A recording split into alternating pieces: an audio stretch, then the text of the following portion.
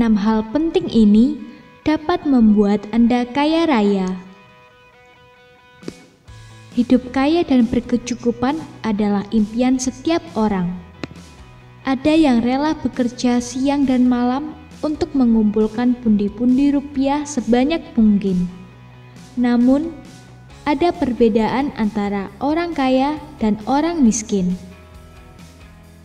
Pebisnis T. Harv Eker pernah mengatakan, orang miskin mengumpulkan uang demi uang untuk dibelanjakan saat itu juga. Namun, orang kaya mencari uang sebagai benih yang dapat ditanam untuk memperoleh uang jutaan lagi, lalu ditanam lagi untuk memperoleh uang puluhan juta. Kekayaan adalah hasil akumulasi dan bukan apa yang Anda hasilkan.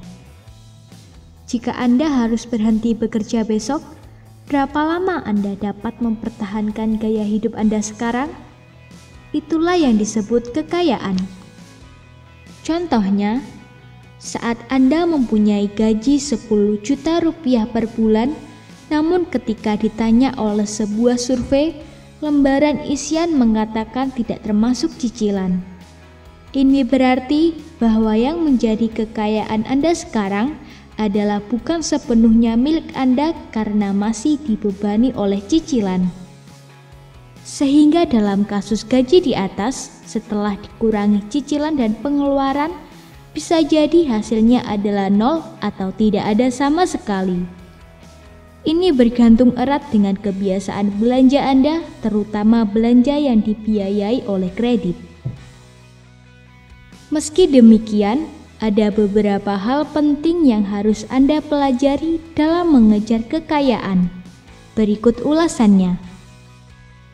Cadangkan dana tak terduga.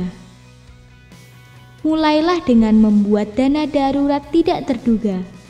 Targetnya 5 juta rupiah dengan mengumpulkan uang hasil bekerja 36 bulan. Jangan gunakan uang tersebut jika memang bukan untuk kebutuhan yang mendesak seperti mendapatkan musibah atau jatuh sakit. Komitmen Anda untuk langkah ini sangatlah penting. Selesaikan hutang. Hutang adalah musuh kekayaan. Meski demikian, ketika seseorang hendak membeli rumah, kendaraan, peralatan rumah tangga seperti televisi, peralatan elektronik, mebel, dan sebagainya, pada umumnya harus membayarnya dengan kredit karena harga yang tak terjangkau. Lebih dari itu, untuk kebutuhan sekunder pun seperti untuk biaya pendidikan dan ongkos kesehatan juga berbasis kredit. Bijaksanalah dalam berhutang karena hutang adalah musuh kekayaan. Perhatikan dengan seksama dan tentukan prioritas apa yang menjadi kebutuhan utama dan apa yang menjadi sebatas keinginan. Hargai tiap peluang. Jika ada yang menawari Anda peluang usaha, jangan ragu untuk menerima. Walaupun tidak langsung dapat dirasakan, ini bisa menjadi tabungan untuk hari tua nanti. Walaupun saat ini Anda tidak memerlukannya, tapi suatu saat nanti Anda akan perlu. Misal ada yang menawari Anda untuk usaha bordir dengan modal mesin yang harus Anda beli. Saat Anda sudah menerima keuntungan dan hasilnya menjanjikan, dukunglah lagi usaha tersebut agar lebih berkembang jangan rugi karena inflasi. Tabungan adalah faktor terbesar yang membuat Anda kaya. Jadi, jangan sampai tabungan Anda berkurang karena inflasi. Sebagai contoh, 20 tahun yang lalu, uang seribu rupiah dapat memperoleh 4 butir telur. Sekarang bahkan harga satu butir telur sudah mencapai 1.500 rupiah. Apakah telurnya berubah? Tidak, uanglah yang sesungguhnya bermasalah. Inilah yang membuat Anda dari hari ke hari harus bekerja lebih keras untuk menutupi kebutuhan hidup. Solusinya adalah investasikan uang Anda. Hitung semua aset dan hutang. Apakah Anda memiliki rumah, properti, atau usaha?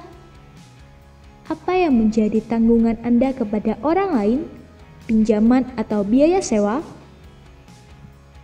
Makin kecil perbandingan tanggungan Anda terhadap apa yang dimiliki, maka makin kaya Anda.